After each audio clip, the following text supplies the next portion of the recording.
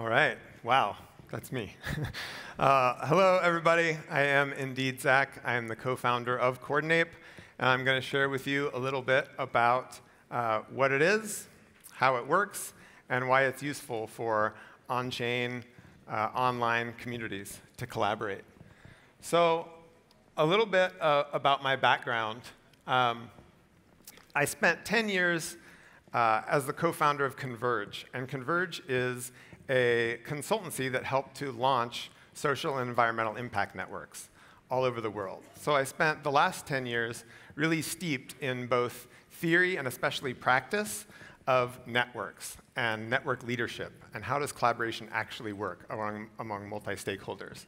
And um, when I discovered a couple years ago, I discovered DAOs, and it was like, wow, okay, here's some infrastructure and technology that allows global peer-to-peer -peer collaboration. And so uh, I got obsessed, and I was all in on that. Um, and, and that's really what, what led me to start Coordinape. And the three things I want to share are, are the factors that we saw across all these different global networks, all different contexts of people trying to work together. There were three things, right? And they are, they are, uh, the three things are uh, appreciation, right? Really appreciating what people are doing. Information flow, understanding what we're working on, and then finally reward. And so how are we rewarding people and being reciprocal for what the, the value they put in and the value that they get out? So Coordinape started inside of Yearn Finance, which is uh, a decentralized finance DAO. And they were trying to solve this problem of lots of collaborators and lots of contributors coming and doing great stuff. And how do, we, how do we allocate and reward them and appreciate them for what they're doing in a decentralized way, right? So we don't have a grant committee trying to decide who should get what. Um, as we developed Coordinape inside Yearn, other DAOs started to get interested and, and also wanted to, to use it. And it eventually spun out. These are some of the DAOs that use us. We now have about 1,000 organizations and 40,000 registered users. Um, and recently, also exciting that companies totally outside of the Web3 crypto space, uh, there's a company called iFood. They do food delivery in Brazil, uh, billion dollars in revenue and 6,000 employees, and they're using Coordinape as a sort of a core pillar of their employee engagement platform. So how does Coordinape work? It's organized by circles, and essentially you have one circle that's the big organization, and then smaller circles for projects or teams that are populated from members of the larger organization. So you could have a one-off project like putting on a conference, or you could have ongoing projects like you're building a, a platform or a protocol.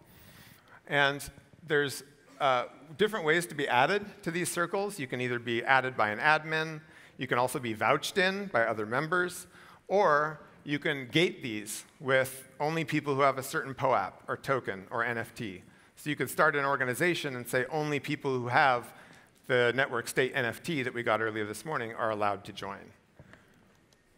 Right? So the three things, information and appreciation and reward. This is information. So this is the activity feed. And basically users come in and they input and share what they've been working on so that other people that are working on that same project can see, can have context on on what are you doing, what's happening, how can we might collaborate, right?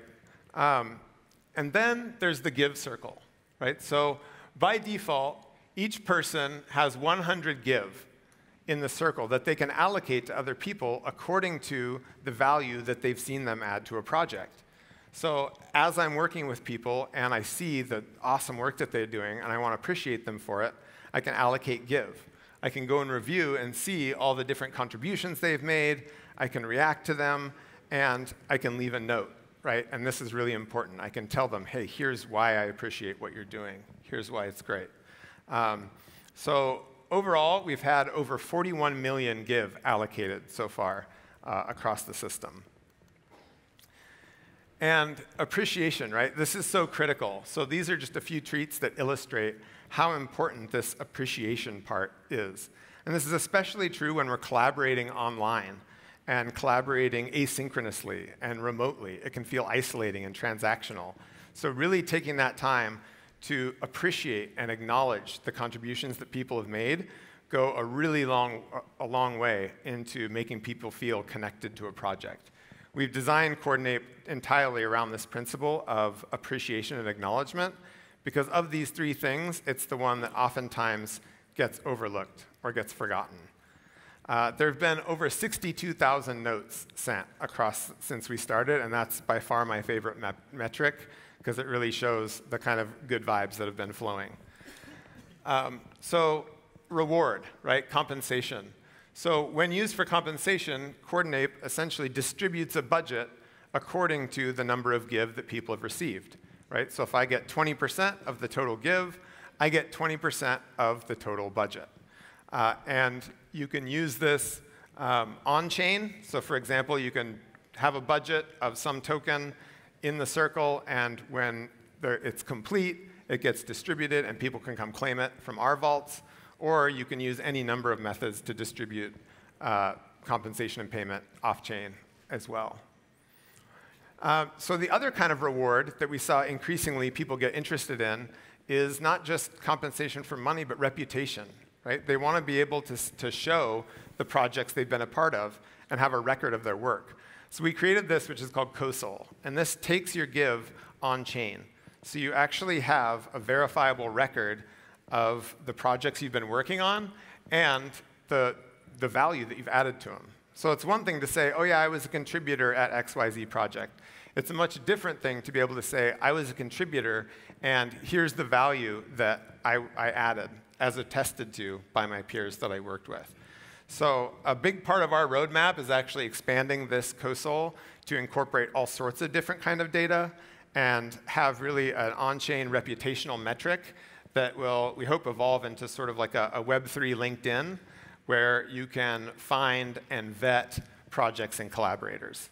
Um, we've had 28,000 of these minted so far and encourage you all to uh, mint your own as well. So this is a map that shows the flow of give between a network so that you have transparency and you can understand who's giving to who and then you can click in and start to understand what are these people working on what are they doing and we're also planning to add lots of different data to this as well so that you really have a robust map and can understand your entire project and what people are working on and how they're collaborating together so what does this mean for a network state? Right? Well, if you're starting a network state, and, or any kind of online project, you're going to be attracting people who are really excited about your idea. And you're also going to be attracting all sorts of the kind of people that live out there online, like trolls and scammers and people like this.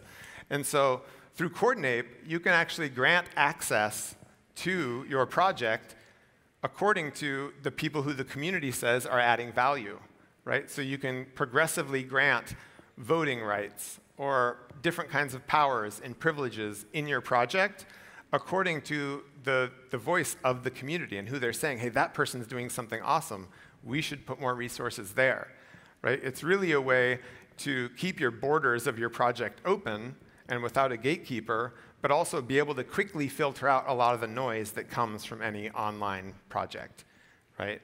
And so the, the idea is that really you can create hierarchies of leadership that are based on contribution and recognition from the community and not just a sort of a rigid pyramid structure, right? We see, we say in, in an ideal network, we used to say the leader is the one who knows what to do next. And so this is really a way to tap into that collective intelligence and let the community show who's adding value and who can rise to the different challenges that you face as your, as your project evolves. So whatever you're working on, whatever you're collaborating on, remember that the people you're working with want to have information. Now I'll get it.